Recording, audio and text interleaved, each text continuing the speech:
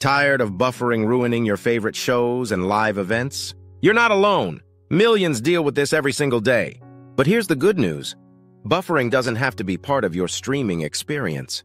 Let's break down why buffering happens and how you can finally stop it. Number one, slow internet speeds. If your connection can't keep up with high-definition video, you'll constantly see that spinning wheel. Number two, overloaded Wi-Fi.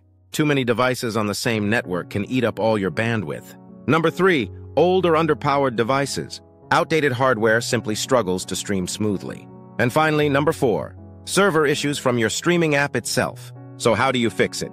Step one, restart your router. It's simple, but often clears network congestion immediately. Step two, if possible, use a wired connection. Ethernet cables are far more stable and faster than Wi-Fi. Step three, close unused apps and clear your device cache. Freeing up resources makes streaming smoother. Step four, adjust your video quality.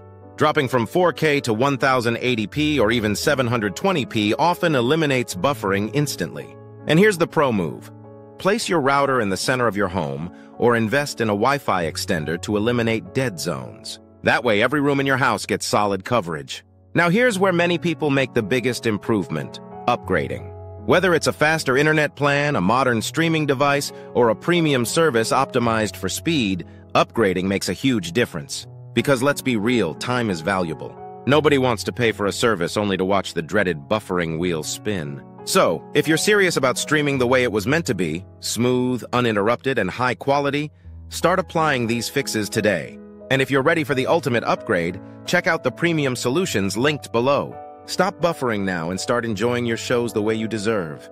Follow for more quick fixes and tips to make your streaming stress-free.